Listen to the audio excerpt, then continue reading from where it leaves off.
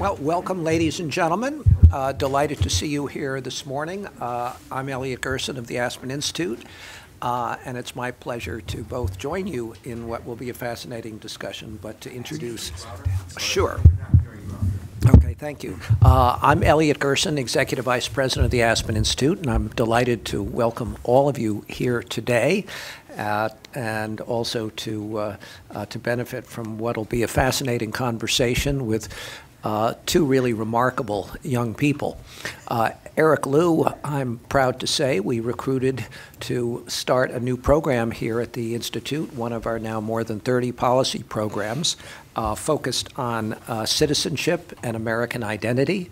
Uh, not surprisingly, great interest that he has developed through his uh, wonderful writing and increasing presence as a commentator in both uh, popular uh, media as well as, as uh, scholarly uh, journals. Uh, has an article he told me just this morning that's soon to come out in, in the journal Democracy on, on some of his ideas. this program. Uh, we launched it last summer, and he's already doing things domestically and internationally relating to uh, the critical need to create a more engaged citizenry and improve the functioning of our democracy. Uh, Akhil Amar is really a leading, if not the leading, constitutional scholar of his generation, and maybe we'll say someday other generations as well. Uh, he's the Sterling Professor of Law and Political Science, uh, one of those people who uh, can teach both brilliantly uh, in a law school, but importantly also to undergraduates as well. Uh, his work uh, ranges all across the Constitution, constitutional theory, and American government. Uh, and he's written extensively. Uh, he really needs no introduction to people like those in this room. Uh, and he now has a wonderful new book uh, that I hope you will purchase if you haven't already uh, The Law of the Land, a grand tour of our constitutional republic, which is really a geographical and intellectual road trip uh, of the United States. Uh, absolutely fascinating from you know, Massachusetts to Alabama, uh, Wyoming, Ohio, California, and probably many of your own states as well. Uh, with that, I'm simply going to turn things over to Eric. Thank you. Thank you so much, Elliot. Um, uh, it is really exciting to have all of you here today and uh, exciting to, to have this program uh, under the auspices of this new uh, program on citizenship and American identity. I just want to begin uh, by expressing my uh, excitement about being part of the Aspen Institute family and uh, having gatherings like this and conversations like this, but uh, even more broadly, really connecting some of the ideas of the type that we're going to hear in this conversation today uh, to a broader national conversation that's unfolding as we speak about who we are as a country, both demographically and civically, uh, and how, in this time of incredible flux and change, technological, demographic, political, and economic, we sustain a coherent and common uh, sense of shared destiny, shared history uh, and shared responsibility. Uh, and I'm not sure there's a better person on earth uh, to uh, help uh, get a conversation like that going than uh, the man to my left.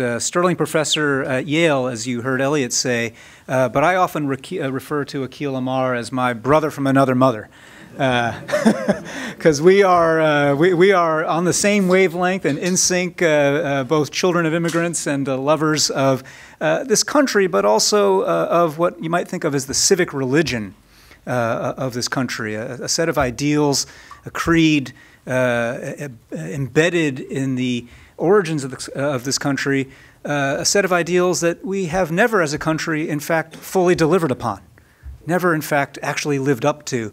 Uh, and yet, it is that striving to close that gap between ideals and institutions uh, that has led people like me and Akhil uh, to do the work that we do, but has also led people like me and Akhil to be uh, such peas in a pod and uh, close friends and collaborators. This book, uh, The Law of the Land, um, which, as Elliot mentioned, will be available after our program for signing and for further conversation. I want to thank our friends at Politics and Prose uh, for setting up shop here and being with us this afternoon. Uh, this book, I, I, I, have to tell you, uh, is a delight to read, not only because it is, as Elliot uh, uh, said, this grand uh, tour of our country, seeing different states of the Union through a constitutional lens, but also because it is on the page a capturing of what you're about to experience in the flesh, which is the exuberance, the erudition, the passion, uh, that Akhil has for all things constitutional and American and his ability to translate things that are often very technical and abstruse uh, into terms that uh, everyday Americans can really uh, not just relate to, but get rather excited about. Um, uh, the one thing that I want to say, Akhil, before asking you just to introduce the book in a sense and tell us a bit about it, um, is maybe to tee that up by simply noting that Akhil is the author of many books about the Constitution uh, and many of them aimed uh, for a general public. But this one is unique in that it has this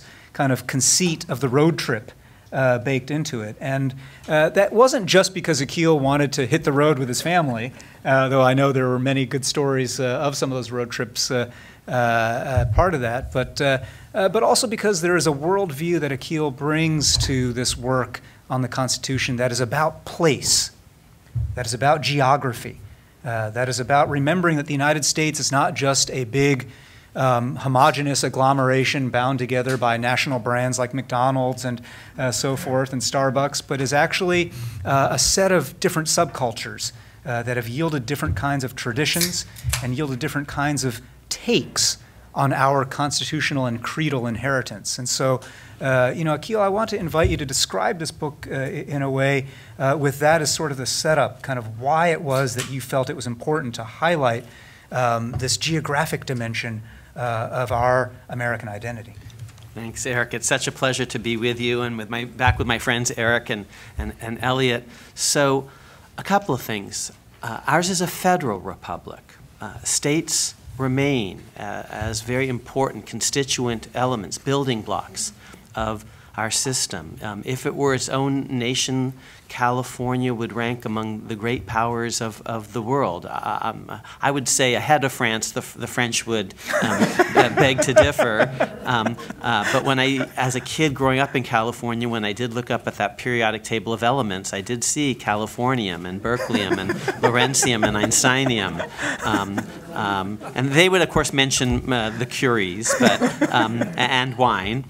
Uh, but almost everything, there is an American exceptionalist story, and you see it when you look at the 50 state constitutions um, alongside the federal, because in all sorts of ways, actually, Americans do things differently. Almost everything in the federal constitution actually had a state constitutional antecedent. States had written constitutions first. They had uh, three branches of government and bicameralism in every state except Pennsylvania and uh, Georgia at, at the founding. They had judicial review established at the state level even before federal judicial review came along. They had jury trials. They had bills of rights, which made the absence of a federal bill of rights so immediately obvious to the folks who were asked to ratify the thing. They said, dudes, you forgot the rights because they know what, knew what a constitution was supposed to look like because they had state constitutions. States got rid of some, some of them slavery first. States, many of them gave women the vote first. Um, and um, so just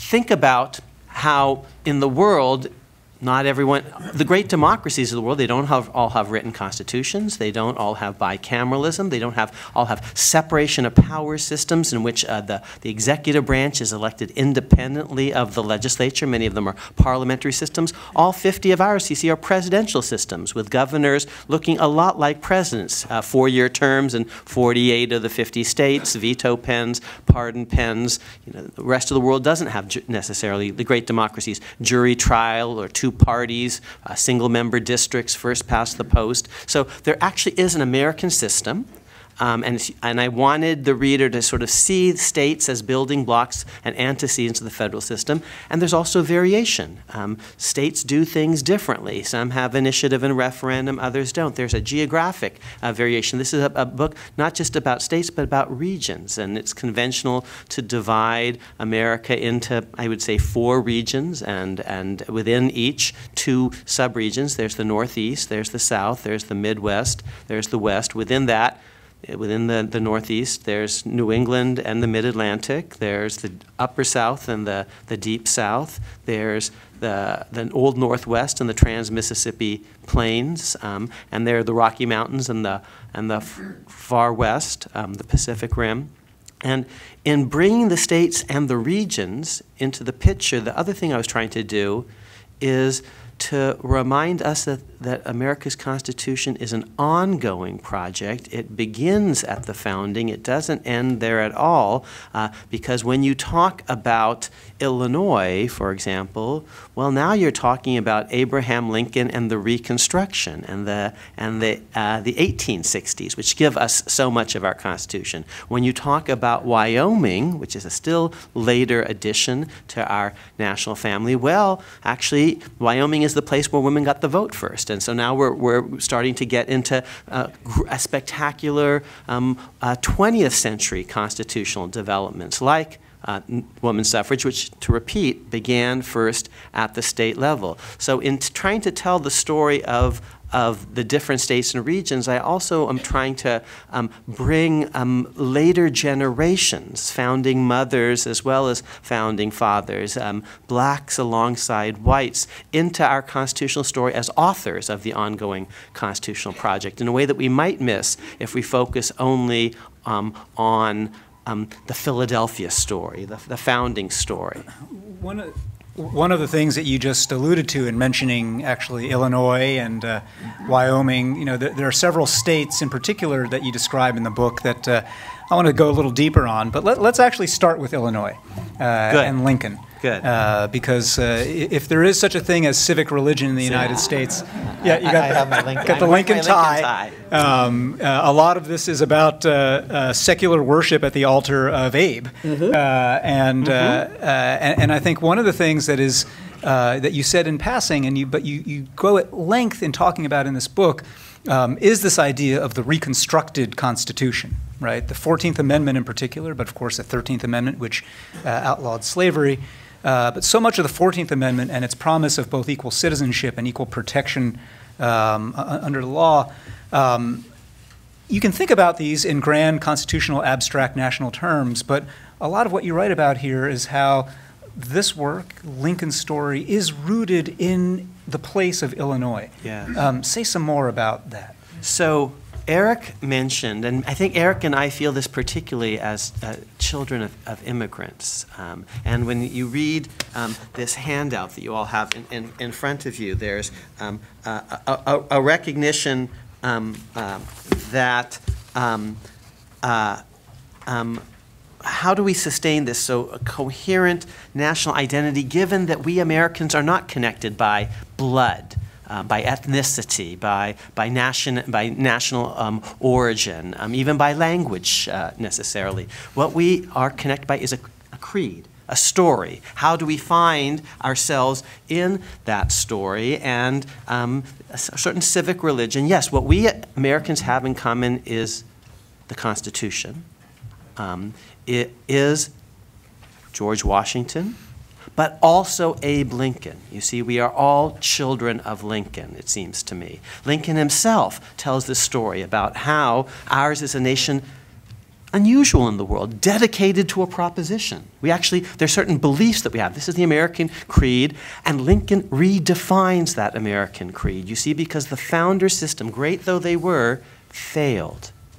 We call that failure the Civil war. Some people still call it the War of Northern Aggression. We still aren't quite over it yet. Um, or the recent unpleasantness, but um, but it was a it was a house divide, and they feel that very deeply down south. The past isn't dead; it's not even past. And when you lose a war, you remember it more vividly than when you win one. Um, and the house that the founders built was a house proverbially divided against itself. It was built on an uneven foundation of slavery, and it fell.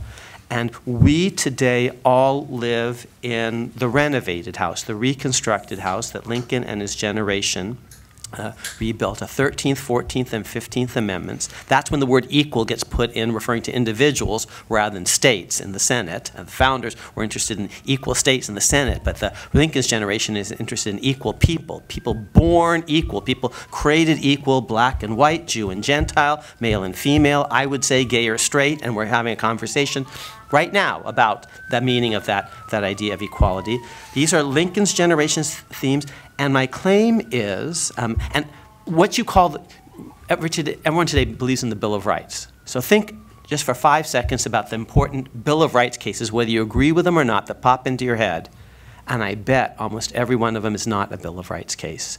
You're thinking about, because the Bill of Rights originally limited only the federal government. Congress shall make no law of a certain sort in the First Amendment. And the Tenth Amendment ended that, and, and it's about local militias and local major, um, um, juries and, and skepticism of the central government. But your Bill of Rights today, Mapp versus Ohio, Connecticut, uh, Griswold versus Connecticut, New York Times versus Sullivan's Alabama, Roe Gideon. versus Gideon versus Wainwright is Florida, Roe versus Wade is Texas, um, Lawrence versus Texas, um, uh, and, and on and on and on. And that's a 14th Amendment vision. Now, how did that vision come about? Now, so explain that to, to lay folks about the ways in which um, these cases, these paradigmatic Bill of Rights cases, uh, which are rooted in fact in state law, what, what about that makes them 14th Amendment stories. When Lincoln dies, he, he, get, he signs a 13th Amendment. Um, it's not ratified yet. It is given to him, he's the Moses of our people. It is given to him to see the promised land, but not quite to enter it. That's the movie Lincoln. So, so he signs this 13th Amendment, uh, and it will lead, upon ratification, immediately to a 14th Amendment, which will codify Lincoln's vision, even though he's in the ground. Um, uh, this is, um, uh, and the first sentence of the 14th Amendment says, everyone born in America is born a citizen. That is born an equal citizen. We are all born equal. We're all created equal. That's his riff on Jefferson, who said it but didn't live it and, and, and do it. But Lincoln has a reinterpretation. That first sentence says, We're all born equal, full and equal citizens with rights. And then the second sentence says, here's specifically what that means. Um, St. Paul um, in the Gospels, uh, uh, in the, the letter says, I am a Roman citizen. What it means to be a citizen is to have certain rights. And the second sentence says rights not just against the federal government, but against states and localities. No state shall make or enforce any law which shall abridge the privileges or immunities of citizens of the United States. Fundamental things like free speech, free press, free exercise of religion, a right to be secure against unreasonable searches and seizures. These, which are things in the Bill of Rights, which originally applied only against the federal government, now, thanks to Lincoln's amendment, the 14th Amendment, apply against states and localities. And all the cases that you think about as Bill of Rights cases, almost all of them, strictly speaking, are 14th Amendment cases. You have to give Lincoln and his generation um, the credit for this. And then you ask me, how does the Midwest factor into all that? And I'll just I'll tell you in just a, a sentence how, how I think it does. But, but just to remind you, almost everything that you think is really important about the Bill of Rights is strictly speaking not the legacy of the founders, of, the, of James Madison and George Washington and their generation, but of Lincoln's. Now, why was Lincoln's generation so, uh, why was Lincoln sort of so emphatic um, in his vision and how was it shaped by where he's from? Eric and I um, are, I think we probably see ourselves, um, Elliot and I were just talking about this too, as probably Americans first. Um, we, we, Eric, you, you spend time in Seattle, but you also spend time in, in, in New York, um, where you grew up, and, and, and you're here in Washington, D.C., and I was born in Ann Arbor, Michigan, and I grew up in California, and then I went to school in Connecticut, and, and, uh, um, and I, I, I, teach in, in uh, um, regularly in New York. Now, if you're Robert E. Lee, you're a Virginian all the way down for many generations. The Lees have been running Virginia from the 1620s on, and of course, Virginia comes first for you. Um, and if you're a Texan, maybe a, it was a Lone Star Republic on it, its own Six Flags, its own unique identity. But Abraham Jade Lincoln. Helm is all I have to say about that. um, but Abraham Lincoln, he's born in Kentucky. His father's from Virginia, his grandfather's from Pennsylvania. Before that, he thinks they're from New England, although he's not quite sure which state. Moves to Indiana, and then Illinois. And when he moves to Indiana, you see, Indiana is just a federal territory. It's part of the United States in the same way that D.C. is, but it's not yet a state. In Lincoln's vision, the Union actually helps give birth to the states. This is, could never be Robert E. Lee's vision. Virginia came first. What are you talking about, Abe? The, uh, the, but but if, you're, if you're from the Midwest, the Union is actually creating these new states ex nihilo, sort of out of the wilderness.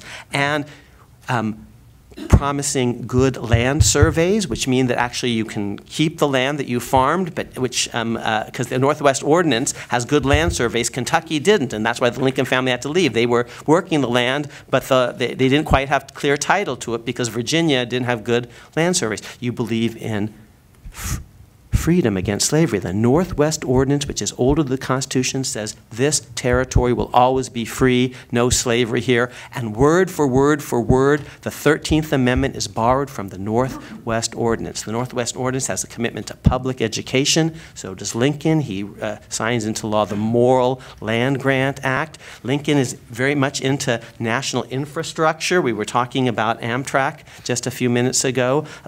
During the middle of a great civil war, he needs to connect uh, he's trying to connect America east and west with the Transcontinental Railroad, Transcontinental Railroad, as he's trying to hold the nation together north and south.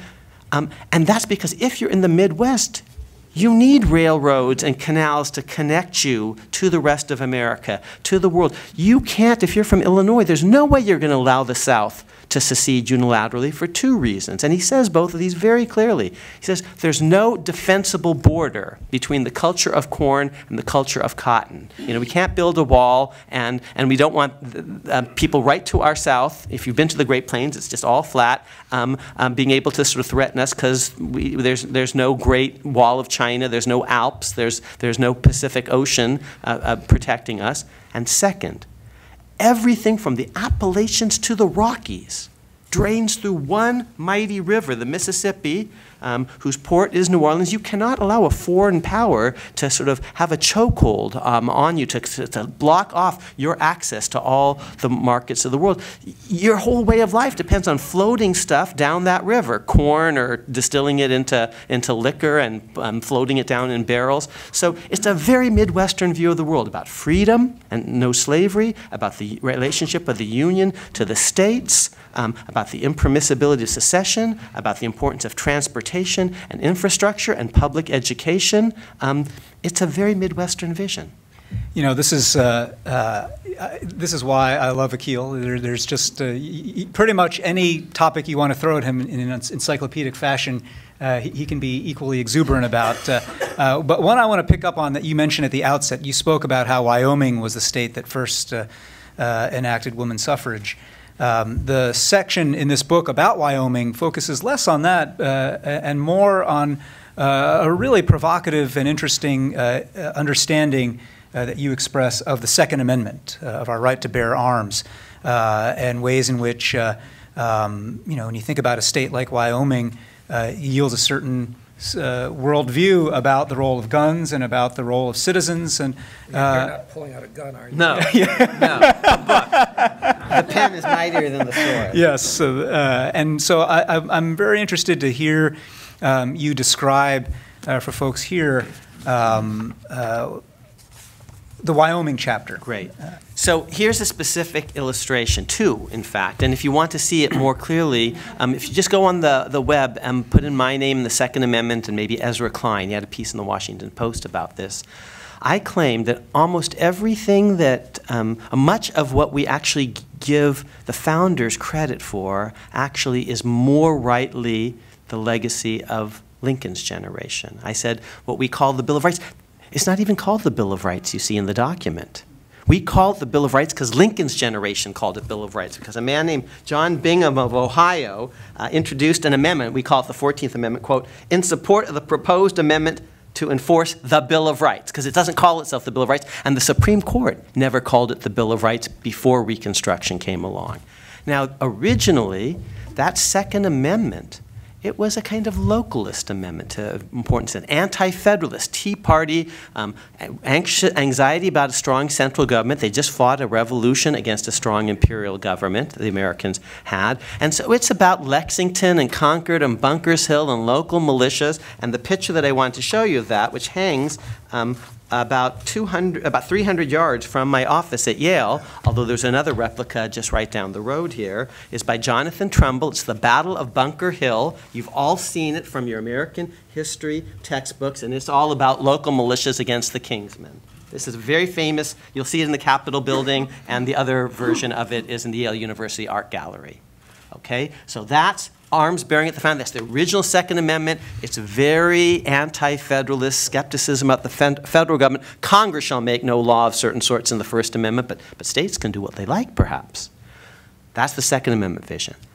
After the Civil War, that gets reinterpreted, reimagined, because now actually the states have misbehaved because of slavery and other things. We need a new birth of freedom, to borrow a phrase, a second Bill of Rights, a Bill of Rights against the periphery, against the states. And they're not so keen. Lincoln and his allies, um, Ulysses S. Grant, William Tecumseh Sherman, John Bingham, all from Ohio, from the Midwest, you see, just as Lincoln is, and uh, Grant also is partly from Illinois. Um, so they're not so keen on these local militias anymore. Local militias were the heroes of the American Revolution, but the, the villains to some extent um, of the Civil War. The, the heroes of the Civil War, militarily speaking, are the, the boys in blue, Grant's Army, um, U, U.S. Um, United States Grant. Um, now, they believe, though, that states are bound by the Second Amendment, but they reinterpret the Second Amendment. They believe that individuals have to have guns in their homes, not in, as a militia, because if they don't, actually, especially black individuals, local cops won't protect them when the Klan comes calling. The founder's vision, when guns are outlawed, only the king's men will have guns. Reconstruction vision, when guns are outlawed, only Klansmen will have guns. This is a different picture. This is from actually the 1860s. It's from Harper's Weekly. It's called the Freedmen's Bureau. And if you look carefully at these pictures, um, which you can do, um, um, Ezra Klein has a little piece about this, the history of the, of the, Second Amendment in two pictures, you'll see it's a pun on the first one. The flag of the central government is in the middle. There's one black person in the corner of the original screen, but there are many black people in the, the later um, uh, thing from Harper's Weekly. The Freedmen's Bureau was all about having, making sure that individual blacks would have guns in their private homes to protect their homes against um, uh, white thugs, um, hooded riders. And let me tell you one final thing. So, so to really, uh, the National Rifle Association is founded after the Civil War by a group of ex-Union Army officers. It's much more of actually a Reconstruction organization, although it's forgotten its own history. As have we all. We tend to give way too much credit to the founders and not enough to Lincoln's generation. One final point. Suppose everything I just said you disagree with. Fine.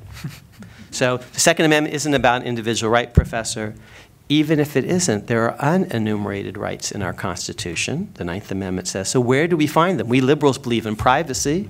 You know, we believe in sex in the, in the home. Um, free from government intrusion. Conservatives believe in guns in the home. Um, you know, I say give them both what they want. This is America, and here's um, and it would be a civil libertarian nightmare to try to root guns out of people's homes, uh, given that there are almost as many guns as people. This is about interpreting the American story. So here's a point. Almost every state constitution today has a right to have a gun in the home for self-protection, and state constitutions are sources of proper interpretation when we're seeking unenumerated rights. So even if you didn't believe the Reconstruction story, I believe you, you should attend to state constitutions because in so many ways they help define the federal experience. You know, what is so fascinating about what Akhil has just unpacked here is it, it scrambles the categories that people have of how to think about, say, the Second Amendment, right? Um, the, the progressive, uh, the, the, layman's pro progressive interpretation emphasizes um, it's all about a militia. Uh, and so, um, you know, the right to bear arms uh, shouldn't extend to an individual right to have guns at home. Mm -hmm. uh, and it's overinterpreted by today's NRA and today's gun lobby uh, in this extreme way. But what's fascinating about what Akhil has just said is that you can take a view rooted in Lincolnian progressivism mm -hmm. um, to understand that, in fact, uh, for reasons that had to do with the protection of a, a recently freed and, and recently enslaved uh, minority, um, that you can quite believe in that individual uh, and, right and, to bear and two arms. more things. I am trying to. This this is what we have in common. This is our creed. I'm a liberal. I actually don't have a gun in my home for self-protection. The guns scare me, and I, I think my, it's a gun in my home might be more likely to, to injure uh, um, a, a, a friend or loved one.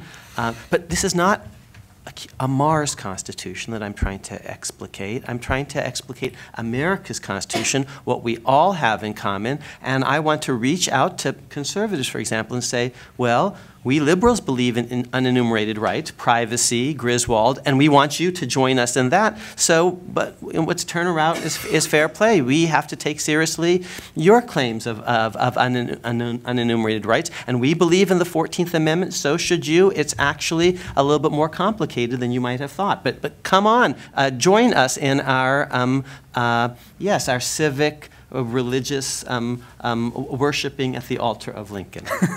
you know, you used to be the party of Lincoln. Come on back.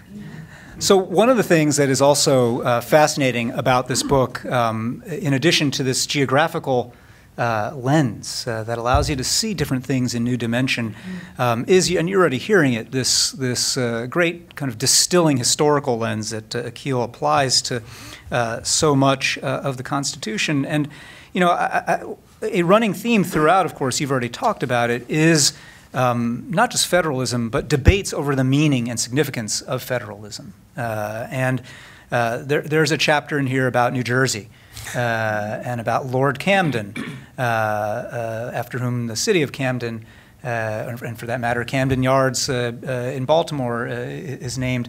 and I'd love for you, Akhil, just to um, help unspool for us um, the story and the debates about federalism uh, as they originate uh, in, um, in New Jersey? So, um, the most famous cases of the founding era uh, arose in London, see, because um, Americans are colonists and they're focusing on the imperial city and, and um, what's going on there.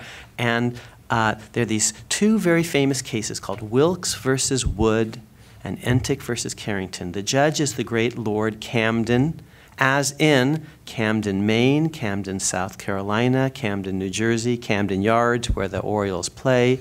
The plaintiff in one of these cases is a man named John Wilkes, as in Wilkes-Barre, Pennsylvania, Wilkes County, North Carolina, Wilkes County, Georgia, alas, John Wilkes Booth, was a very famous man at the time, like the Brad Pitt of his, of his, no, he, he, he's a very famous family, so that's why he's kind of like, you know, Brad Pitt and, and Angelina Jolie, they're, they're, or the Redgraves, or um, um, uh, the Barrymores. So, so John Wilkes Booth is named for John Wilkes. Ashley Wilkes is an allusion in Gone with the Wind to Wilkes. So these are, and Americans are, see, you can just look, see at a map, look at a map, and you see, actually, they're paying attention to Wilkes and Camden.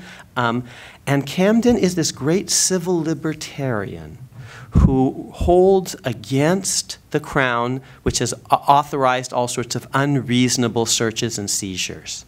And Camden basically, with the um, aid of local of, of juries in England, allows people, John Wilkes and others, to sue the government for massive punitive damages because the government has unreasonably searched and seized. We get the very idea of punitive damages in Anglo-American law from these cases. We get an early version of what we'll call the Seventh Amendment, the right of, of uh, uh, civil juries um, uh, from these cases. We get what we call the Fourth Amendment um, from these cases. But in America, there's a, an interesting little twist or wrinkle because um, there was no exclusionary rule to enforce the Fourth Amendment. The Fourth Amendment was essentially about innocent people being rousted by the government, and if you're and innocent, again, for lay people, exclusionary rule meaning exclusionary rule basically is well, if they find evidence that you're guilty of something, they can't use it in a criminal prosecution. But suppose you're innocent, and suppose they know you're innocent, but they just want to go after you because you're black because uh, you're a minority religion, because you're an outspoken critic of the government. Well, if the exclusionary rule was all the protection we had, it'd be open season on innocent people, and they could beat you up and do all sorts of things, because that doesn't lead to any evidence beating you up, strip searching you in front of, of, of your family or your, your neighbors. So, so the framers believed in damages um, uh, to keep government officials who uh, uh, acted outrageously, unreasonably, um, in check. Uh, and in America, um, here's the interesting federalism twist to all of that. So, what happens if the federal government unreasonably searches and seizes? You sue them in trespass, in effect. Um, they've, they've, they've committed a trespass upon your person in tort law.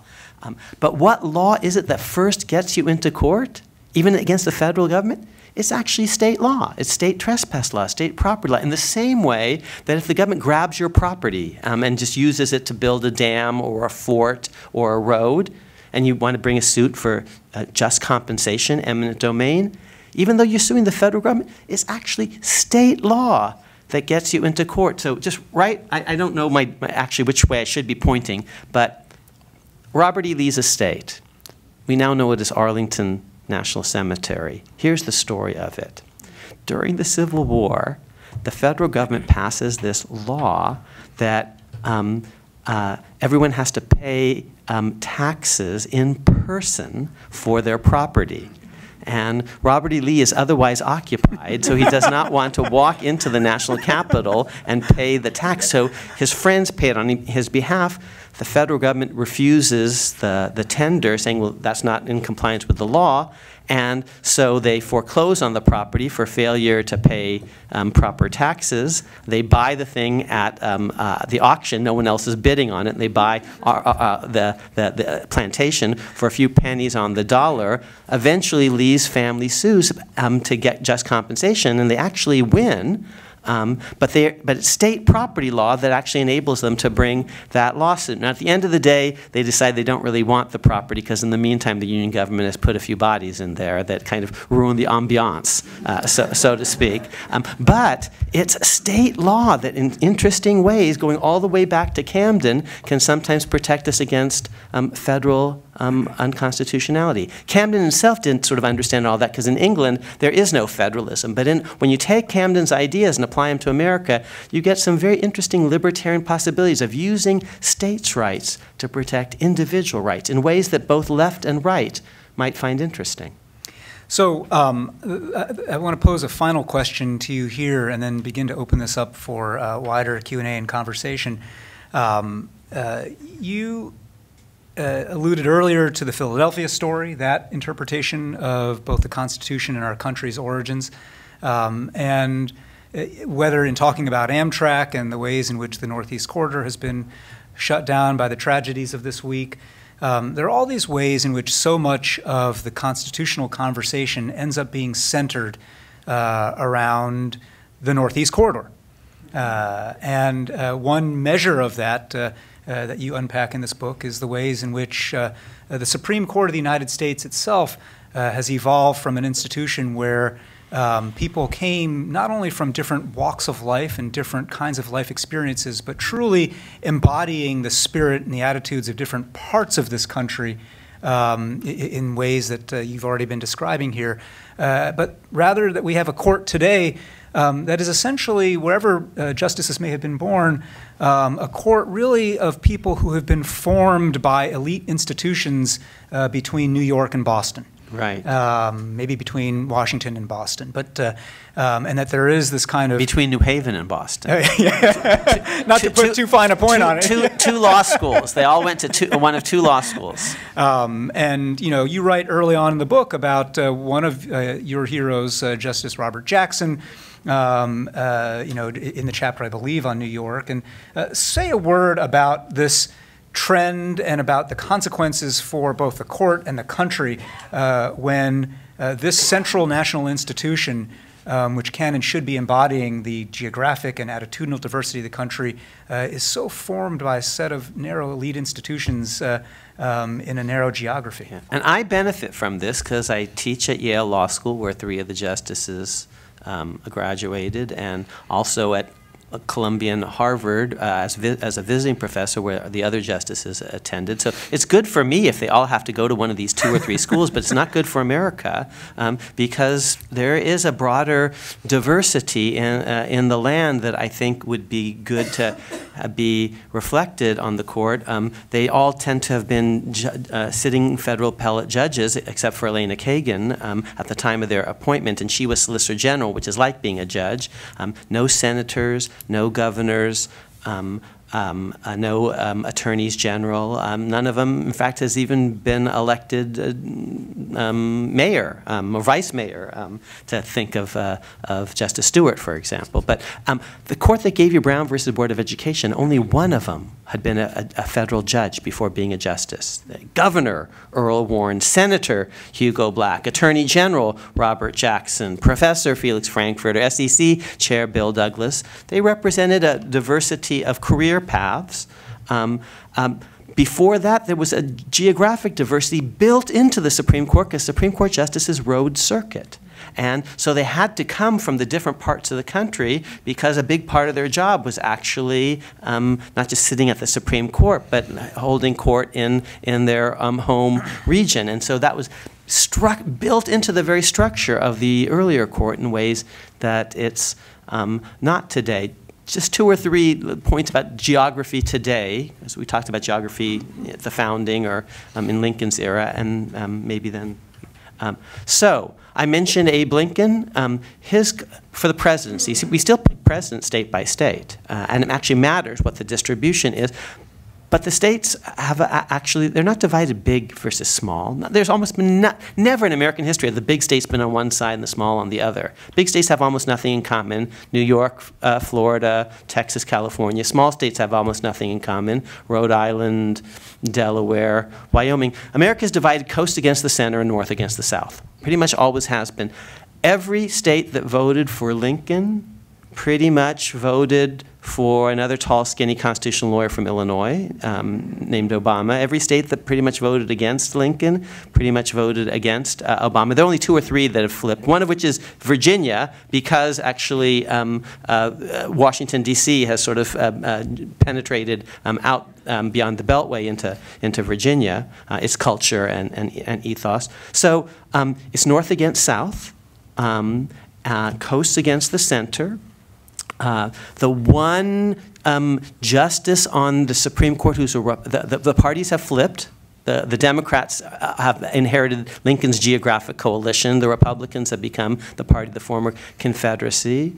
The one justice on today's court coming uh, from the, um, the Republican side who most gets it on same sex marriage is the guy from Northern California. You see, Tony Kennedy, where we get it on same sex marriage. Who, where does he grow up? In Sacramento, in the shadow of whom? Earl Warren, who was then governor of the state, a Republican, a Lincoln Republican. There used to be such uh, in, in American politics. And Tony Kennedy is sort of looking up to Earl Warren. Earl Warren spends time in the Kennedy household. Um, Kennedy is half Earl Warren, kind of half Ronald Reagan. Uh, and you see two great Republican California governors, and you see even in a generation the difference between a Warren um, um, and a Reagan. So um, the, the, other big thing that you've mentioned is we've, over 200 years, gone to a world where we have a much more sort of elite training for our leadership. Um, Abe Lincoln had less than a year's formal education in his life, not higher education, all in, and he was Abraham freaking Lincoln. greatest lawyer America has ever produced. Hugo Black, who is my hero, who actually vindicated many of the themes that Lincoln believed in, who came uh, from the Southland, former Klansman from Alabama, he was didn't have a fancy educational background. He kind of um, didn't have three years of law school, for example, and he didn't have the standard four years of college. Robert Jackson went from high school to he skipped college, one year of law school, and he apprenticed, basically. And these were very great figures, all underestimated by others who had fancier educational credentials Lincoln, um, Black, Jackson. And today, they all went to fancy schools, undergrad, they went to very fancy um, law schools, and not just the justices. Okay? Of your last four presidents, how many have gone to Harvard or Yale? And the answer is four. Of the last seven runners up, how many went to Harvard or Yale? The answer is five. Um, of the last 28 presidential elections, ever all the way going back to Teddy Roosevelt in um, uh, 1904, um, uh, in 20 of the last 28, um, either the president or the guy whom he beat, you know, the, the runner-up, went to Harvard, Yale, Princeton, or Columbia. 20 of the last 28 presidential elections. So, um, and there's a geographic pattern there, given that many of our great educational institutions happen to be a disproportionate number on the Amtrak corridor. Yeah. So um, I, I, I want to open this up. And we don't talk about that. I mean, you know, that's, and that's interesting. Uh, for wider conversation, but just to pull on one little thread you alluded to there, I mean, the, the uh, diversity of different kinds, both um, life experience uh, uh, on the court, uh, geographic diversity, uh, calls to mind as well, um, you know, one of our great retired but living justices, Justice O'Connor, um, who's so involved in different ways with the Aspen Institute as well, um, had a dimension to her life which, frankly, most people aren't all that aware of, which was she was a politician and a darned good one yep. uh, in Arizona. Uh, she was a, a, Senate Majority Leader in the Arizona Senate. Um, and uh, so much of her worldview, uh, you know, she's kind of an embodiment and a case study of a lot of the themes that you're describing here uh, as a child of the West, uh, but also a woman who had to navigate a political, a state political system uh, where there were very few women, uh, and navigate one where uh, she had to kind of build bridges and fashion new ways of getting things done um, uh, that would mark progress but not uh, um, uh, upset the greater majority power structure. And mm-hmm. so, um, you know, every one of the themes that you've been describing here, um, we can apply to uh, other figures mm-hmm. and other cases and other people and other uh, uh, situations in the news and in our political life today.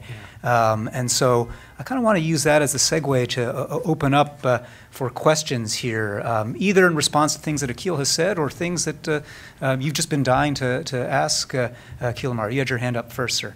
and I press that button so we can hear you. Yeah. Yes, my name is Joel Hetker. Uh, question Why was New Jersey the only state to have slavery in 1860 north of really the Mason Dixon line?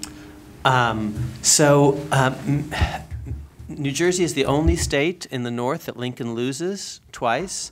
Um, I went down to Princeton two weeks ago as part of this book tour and took snippets of this book and, and called it, just because I knew it would draw a crowd, The Constitution Goes to Princeton.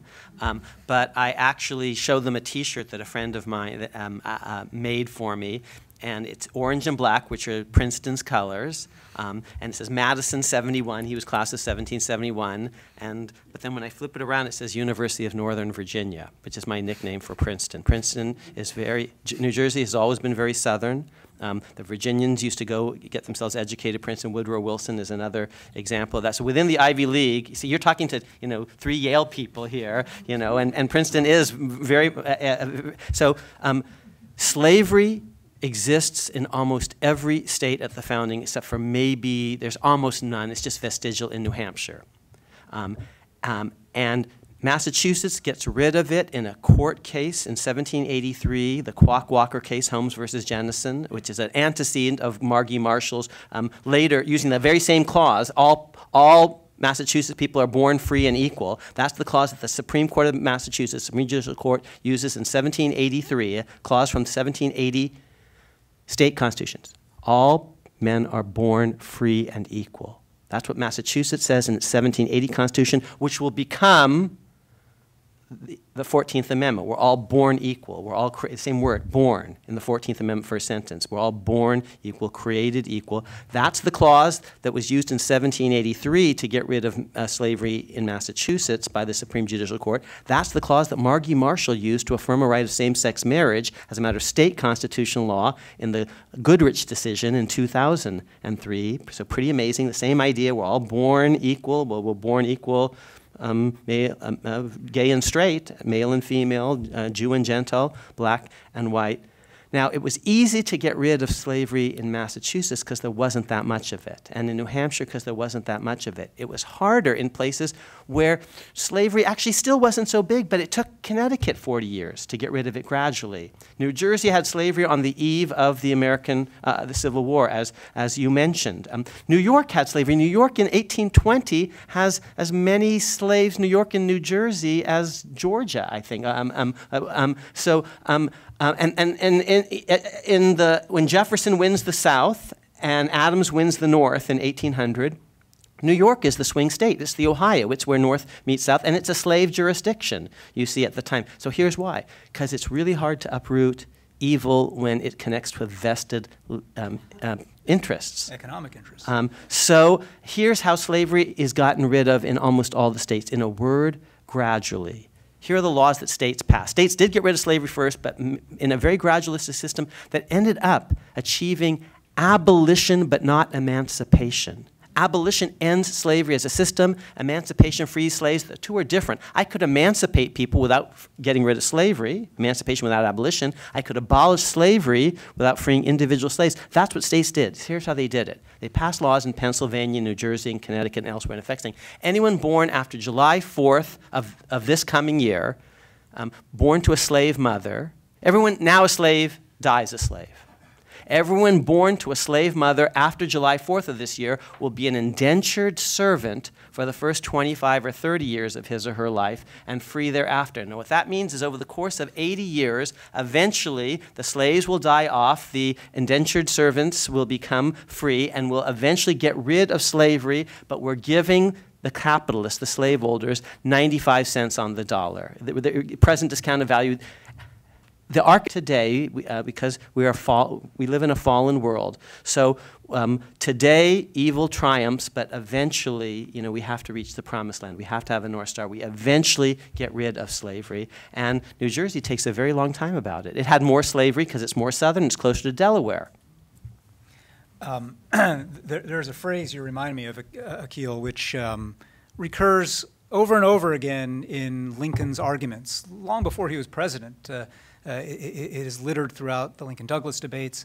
Uh, you know, but this phrase, ultimate extinction, right? The idea that the, the, the, the work of that era was to put slavery on a path uh, toward ultimate extinction. And Lincoln's argument itself was that even the founders and framers of the Constitution had that in mind. So abashed and embarrassed uh, were they about the existence of slavery. They couldn't utter the word slavery in the Constitution. Mm-hmm. and that was one of the pieces of evidence he used to say that even those who accepted the compromises within the Charter believed in a path of ultimate extinction. Right. Um, and that, uh, th- that reality, uh, you know, and the gradualism that is uh, embedded in it, um, uh, you know, in our live moment right now, um, you can see the politics of those who are satisfied and those who are dissatisfied with incrementalism. Um, that the fact that an arc bends ultimately and eternally toward justice um, says little about what's happening today in West Baltimore, what's happening uh, today. In, his, his critics called him a compromiser. He's a realist. He's a lawyer. He believes in private property. He is a Republican, after all. And, um, and so, thesis slavery is wrong. He actually, here's what he says slavery is wrong. If slavery is not wrong, nothing is wrong. I cannot remember a time I did not think so. Slavery is wrong, thesis. Antithesis, our entire way of life depends on foreign oil. I mean, um, on, on, slavery. um, um, uh, uh, okay. Um, thesis, it's wrong. Our way of life depends on it. Synthesis, we must get rid of this in time. We are moral creatures. We have to first get straight in our heads if it's wrong. If it is wrong, we have to do something about it, but um, it, maybe we can't get rid of it immediately, but we, let's agree. The slave, and, and, the framers thought of it, many of them this way, but by the time of the 1850s, slavery had become much, much worse. The cancer had, had expanded, and slaveholders, many of them were proud, um, defiant, um, aggressive slaveholders. But the founding generation, many of them, they were like people who smoke, who, who are addicted, they know it's bad, they can't quit, but they don't want their kids to start. Um, and the culture of tobacco is actually the same culture of strip mining, is actually the culture of carbon. So foreign oil is not a ridiculous analogy when you actually understand certain things that are bad for the earth and bad for the soul. Um, and, uh, um, and so there actually are connections, and the solution is time. We first have to, we are moral creatures. We have to get straight in our minds whether it's, it's, it, there's no morality of it, then if there's no morality of it, then uh, Kansas can do whatever it wants, Stephen Douglas. But if there is morality, we have to eventually get ourselves on the right side of God. Let's take uh, the next question. You had your hand Oh, up. thanks, Mr. Liu. Uh, Before I begin, uh, Professor Amar, you are a, a- I probably shouldn't use this one, but you're badass. Um, well, you- you really. Thank you for the MOOC, so I guess this. Oh, thank you. uh, Oh, wow. was, The massive open online course that's free to the world. You can, you can watch it for Guinness- free. Guinness, Sam Adams, and your class were like the, the tops for my summer last year. Wow, so thank, thank you very, you. very much. And Thank that's you. in pretty good company. Um, having buttered you up, I have four questions. Uh-oh. Okay. Um, I got my pencil. okay, with all uh, apologies to uh, to David Letterman. need to I- I- leave you to just one, though, because there's a. Well, so pick the just best one. really the best best one? one. Uh, okay. And, and I'll all stick around afterwards and answer them all. Okay, all right, well, that's cool, that's cool. Um, uh, I call the, the Bill of Rights my top 10, uh, with all uh, uh, apologies to David Letterman. So could you look at that as being the sword and shield of civil rights? Mr. Liu mentioned um, uh, Wainwright. Uh, I think uh, Korematsu, uh, Mapp, Ohio, uh, Ernesto Miranda, Arizona. So could you give us a survey of those? And, and if I could possibly sneak in a second question. Um, could you look at the enduring a president's enduring legacy uh, for his court uh, nominees? Thank you. Great. So just, uh, Miranda Ar- involves Arizona. Gideon involves Florida. Um, so um, just to take your question and just remind all of you, what we call the Bill of Rights really isn't, in fact, the Bill of Rights. It's really the 14th Amendment. It's Lincoln's Amendment because in our history, states really have misbehaved. Um, and that was clear to Lincoln's generation because of slavery.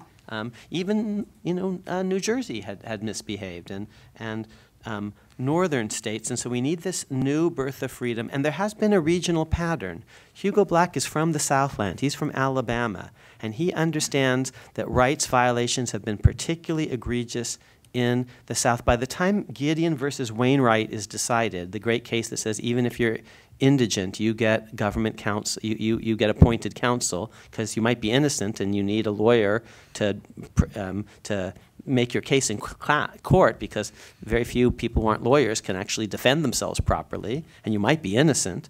Um, that was an idea that 45 of the 50 states were already following by the time of Gideon versus Wainwright. There were only five states that weren't, and they were all in the former Confederacy. The four of the first five states that seceded a, ye- uh, a century before were four of these five, and um, Black understood all of this. Much of what the Warren Court did was, in effect, bringing the Southland um, up to national standards, bringing the Southland sort of back into the, the Union, um, taking the outlier states and bringing them um, up to, um, uh, which is why I said every state, almost every state, has a right to. That, I just said a liberal thing about um, uh, indigent defendants needing needing counsel. I'll counterbalance it with a conservative reminder that almost every state has a right to have a gun in the home for self-protection. And if we're going, if I can get, get to ca- count up states in support of Gideon, I think other folks get to count up states in, in support of of gun rights. Um, on presidents and their legacy. Um, two quick things. Um, uh, one, I think our, our stories thus far have tended to overemphasize court cases. Courts are important, but many of the most important constitutional decisions have been made by presidents. Um, most of you were taught that Marbury versus Madison is the most important constitutional deci- decision. It barely makes my top 10, and it's not the most important constitutional decision of 1803. Uh, it doesn't involve liberty, and America um, isn't, wouldn't have been that much different without it. There was judicial review bef established before Marbury, after Marbury. The next time the U.S. Supreme Court uh, strikes down an act of Congress is Dred Scott in 1857, 50 years later, and Dred Scott is made up. I mean, it's preposterous. So, what is the most important constitutional decision of 1803? It's called the Louisiana Purchase, and a president made. And it doubles America's land mass, and it assures that America is actually going to survive as a nation. Um, uh, and what are the most important constitutional decisions of all time? I claim they were made by Mr. Lincoln. He resists unilateral secession by, um, and, and, and if he doesn't do that, maybe there's no America. It's like imagining who would you be without Lincoln? It's like imagining who you'd be if your parents had never been born. He's what we have in common. He's, he's our, our, our creed, our civil religion. Um, um, when he emancipates the slaves with a stroke of an executive pen for reasons we've been talking about, that's going to lead to his uh, eventually battlefield victory, his reelection on an anti-slavery platform in 1864, his cajoling and arm twisting that you saw in the movie Lincoln, ratification of the 13th Amendment, which is going to lead to the 14th and the 15th. That's your world. That gives us what we call the Bill of Rights, and that's actually what we call judicial review. Judicial review is all basically 14th Amendment stuff, not founding stuff. It's all Lincoln. So chapter one of this book begins not with the founding, not with the Bill of Rights, but with Lincoln. We all live, I say, in the house of Lincoln. Um, uh, proverbially, he's our daddy. Um, and um, and when we bring Lincoln into the picture, we're going beyond the founding generation and looking at a different part of the country. Yes, sir. Thank you. Larry Checo.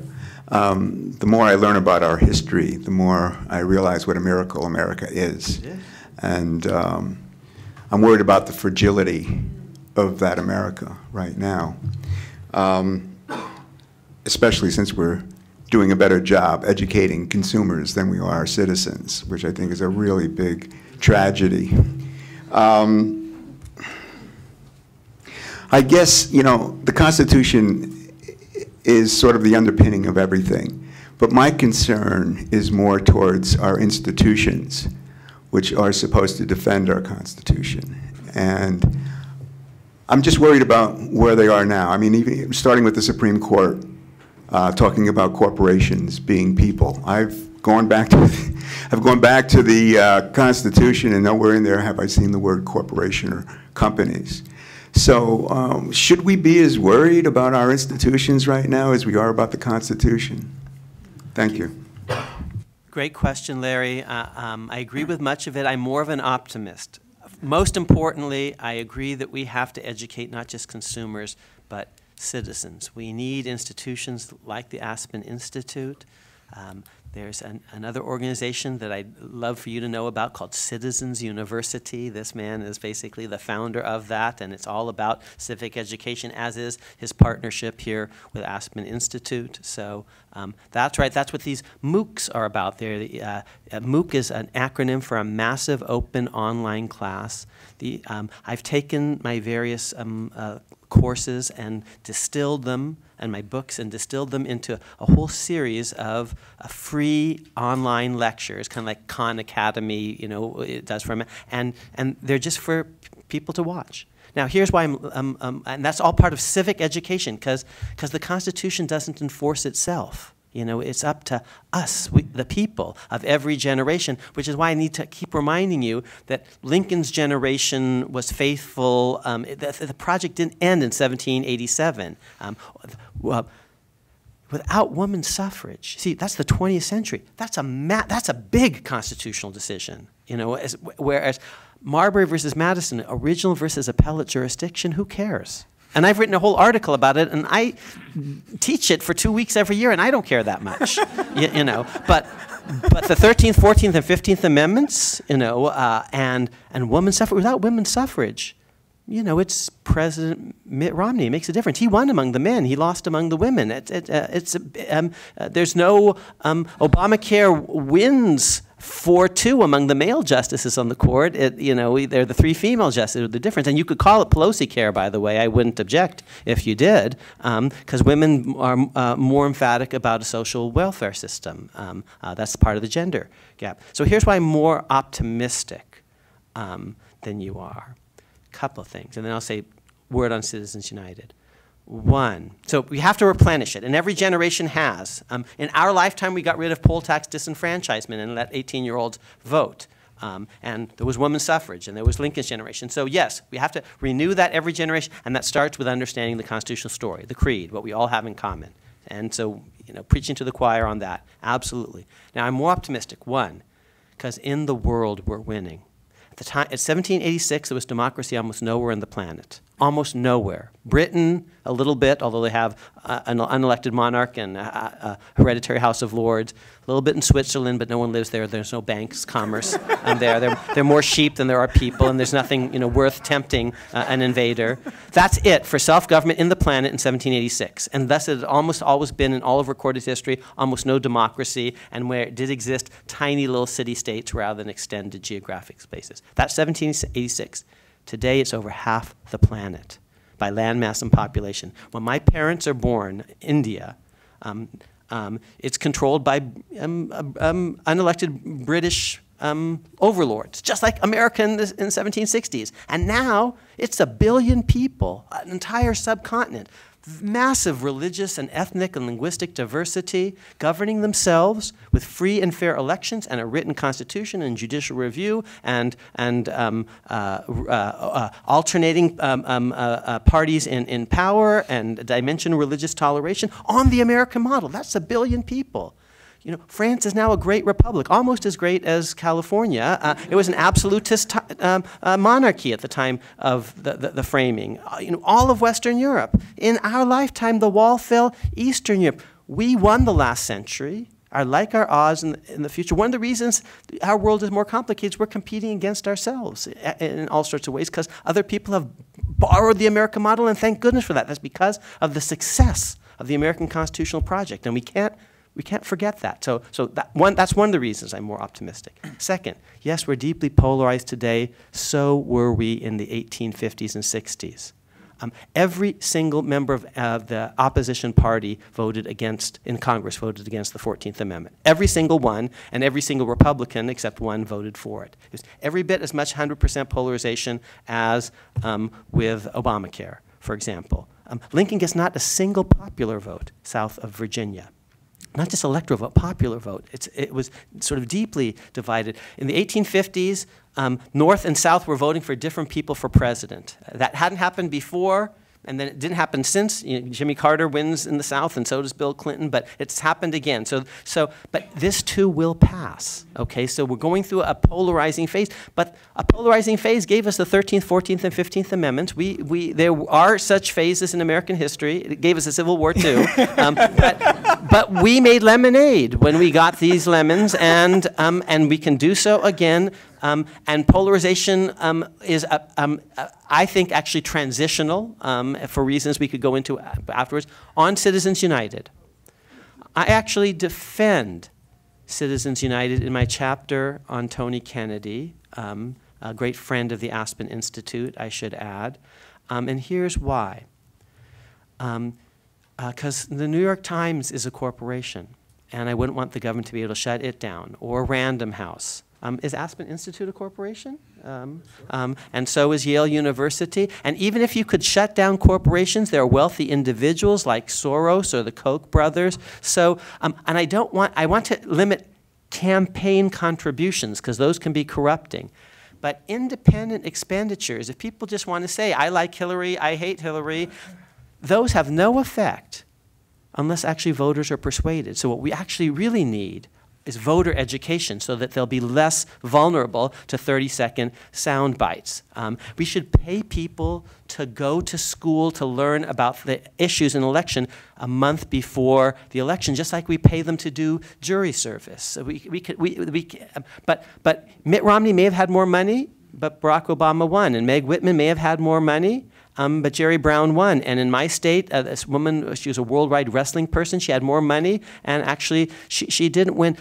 Here's one campaign finance reform uh, that we actually have. It's called One Person, One Vote, Secret Ballot, and corporations don't vote on election day. Now, the trick is, and the real campaign finance reform would be an educated citizenry, going back to your first point, and there are ways we can do that. Um, Gonna, uh, actually, um, let me uh, bring in some folks who've been uh, sitting uh, in the back here. Yes, you, sir. Uh, thank you very much. Uh, my name is Arslan Malik, Professor Amar. the question I have is Alexander Hamilton, mm -hmm. who mm-hmm. talked about the granddaddy for us all is Lincoln, but it, I see a lot of Hamilton in Lincoln. Y- You're right. and There so is just- a lot. I wanted you to comment on that, especially Yep. given his story and background and Yes. so forth. Poor Uh, boys made good, born into dirt, believe in um, uh, nationalism, um, in, in, in unifying national projects, infrastructure projects, both anti-slavery. Um, um, and, and this tradition, you see some parts of it in, in Teddy Roosevelt. You see some parts of it in Dwight Eisenhower, um, who gives us a, you know, an, um, a, a road, an, an interstate road system um, that builds on railroads and Hamilton's plans. Yep, So there are similarities. That was just one comment, but the, the question I have was also completely different.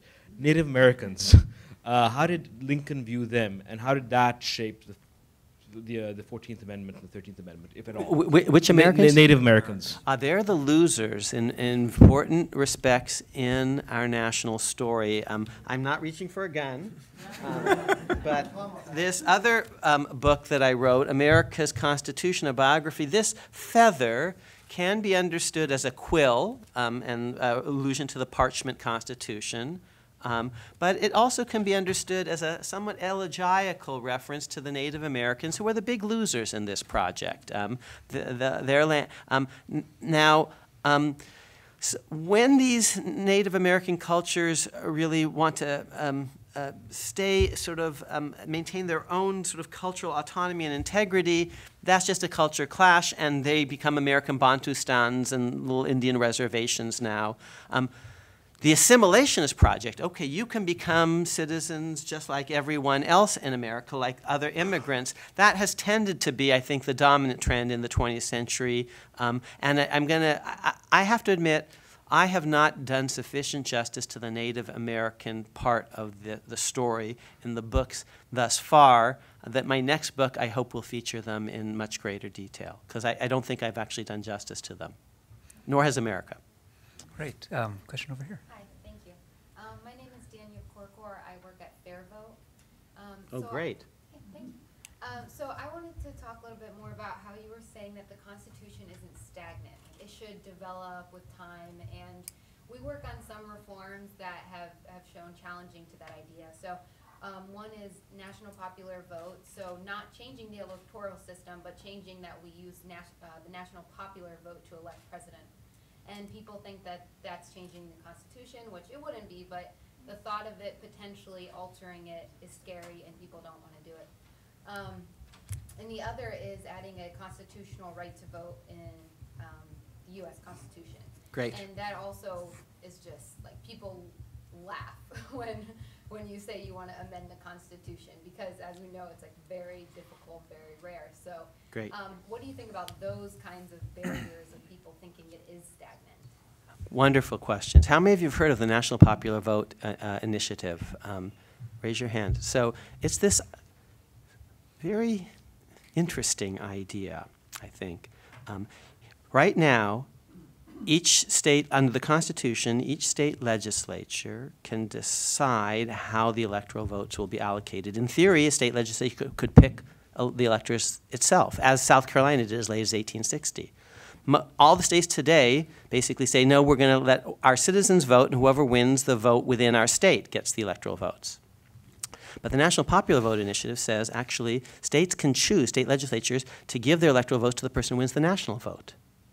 Um, now, why would any state want to do that unilaterally? Pay no attention to Pennsylvania. We are only we're going to give our electoral votes to the person who wins the national vote. So don't even bother, you know, campaigning here. Well, Pennsylvania doesn't want to do that unilaterally, perhaps, but Pennsylvania might do it if a bunch of other states did it. So the National Popular Vote Initiative says um, individual states can pass this common law that says that we'll give our electoral votes to the national popular vote winner if enough other states do the same, so that together we add up to 270 and are able to actually make this work. Uh, um, and a bunch of um, states have already passed these laws. Um, um, Maryland has passed uh, this law, California has passed this law, New York has passed this law. Um, so they're halfway to their target of 270. Now, it's an interesting idea. Um, do you know who invented it? John Koza? No. No? The person who invented it is actually speaking to you. um, this was co-invented 13 years ago, and I like him a lot, and he's implementing it. He's got the money and the institution, but um, the idea was generated by Robert Bennett, uh, dean at the Northwestern University School of Law, and Akhil Amar um, in a blog post that he posted on the one-year anniversary of Bush versus Gore. Um, now, um, I actually think it's an interesting idea. It's, uh, uh, there are many people who think it's harebrained, so that's why I, I um, um, uh, and I do see its flaws, but I, I do kind of like it. Uh, so thus far, only Republican, uh, excuse me, Democrat states have signed on. Eventually, Republican states are going to need to sign on. Why might they? Here's why they might. Um, um, uh, I, I, I, keep doing this show and tell, but um, it's that this um, idea is discussed, the National Popular Vote Initiative, and my early blog posts on this in this book called America's Unwritten Constitution. And the last chapter is about the unfinished Constitution, the Constitution of the future. What should the Constitution of 2020 look like? 21, 21, 22, 22. And I tell you, here are three principles about what it will and should look like. One, anything that we do going forward, states are probably going to have to road test first. And they have road tested this idea because every state, I told you, has a governor who looks like a president. It's not a prime minister. They're picked independently of the legislature, but in every state, it's one person, one vote. No state has an electoral college to pick its governor, and um, in every state, you have governors who look like presidents. So this is this is an idea that looks like the states. We, in, in California, it's one person, one vote. We count them carefully. Um, if if um, it's close, we recount them really carefully. Call us crazy, but that's how we roll in California and in Texas and in New York and in Pennsylvania. So this would be just doing this on a national level. Two, no constitutional amendment should add to liberty and equality, not take away from them, because almost all the amendments thus far have done that, except prohibition, which was not a success. So having an amendment saying marriage is one man, one woman, that takes away from liberty and equality. Having an amendment saying, you know, marriage is two people who love each other, that adds to liberty and equality. Three, both parties are going to have to be on board because as a practical matter, you can't get amendments unless actually you, you get buy-in by both, because um, it needs two-thirds of the House, two-thirds of the Senate, three-quarters of the states. Thus far, only the Democrats have bought in. Why might the Republicans? Because they're in increasingly beginning to think that today's electoral college might be actually tilted against them a little bit. If you look at um, how many electoral votes each party, uh, in the last six elections, how many elections did the Democrats win five of the, uh, of, of, how many states did the Democrats win five of six uh, of those states? How many uh, uh, states did the Republican win five times out of six? So what are the very reliably blue and red states? The, uh, and basically, the Democrats go into every presidential election basically having about 200 electoral votes in the bag. They only need to get to 270. The Republicans only 110. There are more pathways, perhaps, to victory for the Democrats today. Okay, we need to win Ohio or Florida, but not both. Even if we lose both, we could do it with Colorado plus Virginia plus North Carolina. Um, so, and the person who understands this as well as anyone in the world is named Karl Rove.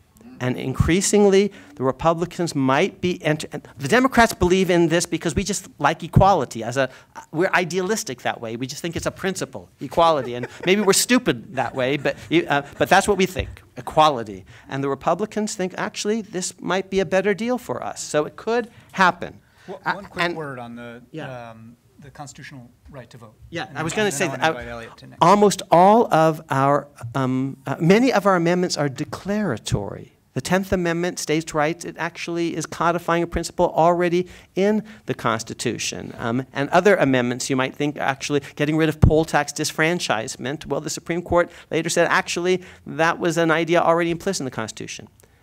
I'm in favor of adding the words right to vote in the Constitution. I want to remind you the words right to vote already exist in five different amendments the 14th Amendment, Section 2, the 15th Amendment, the 19th Amendment, the 24th Amendment, and the 26th Amendment. I want to say it once more with feeling. I want an ERA, even though I think we already have one in the Constitution. It's called the 14th Amendment. Um, so let's do it again. I, I, like the idea. It can give our generation something to mobilize around. So um, when Gandhi was once asked what he thought of Western civilization, he paused. He said, I think it might be a good idea. Um, and I think uh, the same thing about a right to vote. I think it might be a good idea. Uh, Elliot. Yeah, let, let, let me ask a, a question, and I'm sorry we're going to be running out of time. We're going to have to invite you back often. One thing I wish we'd have more time to talk about relates very much to Eric's project, and that is American identity, especially about immigration. I, like both of you, am, am, am the son of, of immigrants. I did not know that. But uh, let me ask a different question relating to states and the Constitution, which you've talked a mm-hmm. great deal about. Mm-hmm. And that is what I would call the problem of the U.S. Senate. You talk about Wyoming, you talk about California. How is it possibly democratic? What does it say about our future? What is just and right about the fact that Wyoming and California have the same number of senators? And when you look at demographic trends, it's only going to get worse. Great. Um, I'm with you, and indeed, the last chapter of this America's Unwritten Constitution puts forth two or three possible um, amendments of the future. And one is direct election of the presidency, although I say you probably don't need a formal amendment, you could do the National Popular Vote Initiative. And I say people, even if they weren't lucky enough, as maybe all three of us were to be born citizens under the Constitution, because that first sentence of the 14th Amendment, Mr. Lincoln's birthday gift to me, See, because when I'm born in Ann Arbor, Michigan, my parents aren't citizens, but because that because of Mr. Lincoln's sentence, this, on my day of my birth, that's a great birthday present. I'm I'm an American citizen. Um, so another amendment might be those not lucky enough to be born citizens on the day of their birth. If they come here and they contribute to society after 30 years, they should be eligible for the presidency, whether the name is Arnold Schwarzenegger or Jennifer Granholm. So that's a second that I talk about in the last chapter of this book, America's Unfinished Constitution, the Constitution of the Future. But a third is maybe we should change the Senate. No upper house of a state legislature is malapportioned. And remember my three baselines. Amendments should add to liberty and equality. This would add to equality.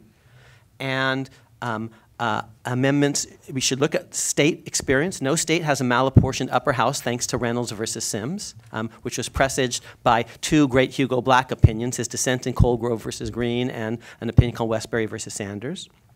And third, both parties need to be in favor of it. I think they might be in theory because actually, um, like the, two years ago, the, the, the, House actually was controlled by the Republicans and the, the, the, Democrats controlled the Senate. So I don't think there's a big systematic skew. Um, I do think it's wrong in principle. Now, how do we get there? Why would Wyoming ever agree to this? Because you need two thirds of the existing Senate to vote for it, three quarters of the existing states. Well, here's where we go back to Mr. Lincoln. We do it in time. Here's what we do. We take, borrow a page from the great political philosopher John Rawls, who asked us to imagine what we would favor if we didn't know what position we had in society, if we were behind a veil of ignorance, trying to figure out what are fair rules for society if we didn't know whether we were at the top of the heap or the bottom. How do we create a veil of ignorance? Here's what we do we say we're going to propose a constitutional amendment that will go into effect in 100 years. What should be the, uh, the apportionment of the Senate? And now, my, people in Wyoming, think of, you're going to be dead.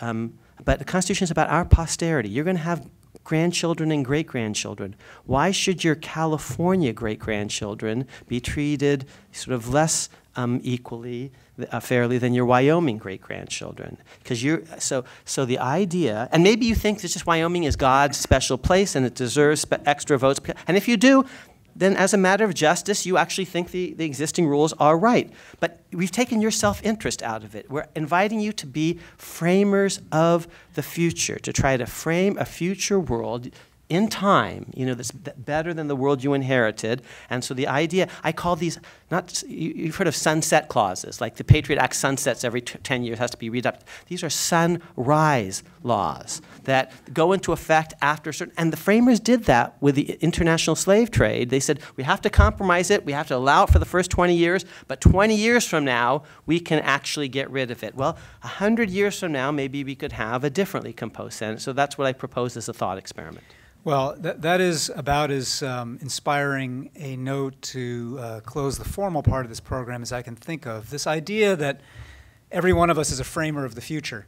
Um, you don't need to have a formal constitutional amendment process for us to kind of take that responsibility seriously. And uh, the ways in which uh, uh, Akhil Amar is, uh, is a badass uh, have to do with the ways in which he seamlessly connects uh, what we're experiencing today, both with the past and with our responsibility to bring to bear civic imagination uh, on the future. That the past uh, is not only not a set of shackles, but the past is far more interesting and rich and surprising uh, if properly mined and explored uh, than we know, and can yield far more uh, potential for reimagining the, the, civic future. Um, one of our friends, a fellow named Mark Meckler, um, who had been the co founder of the Tea Party Patriots, uh, now runs an organization called the C- uh, Citizens for Self Governance, uh, is working with a variety of other folks on what you might broadly think of as the right uh, for a movement to organize an Article 5 constitutional convention.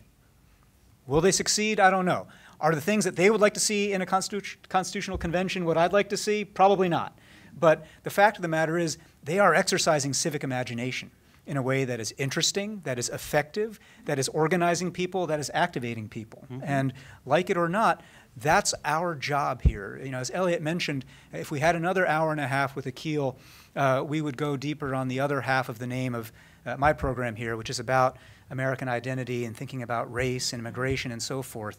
Uh, but I think so much of what Akhil had to say here about us all being the progeny of Lincoln.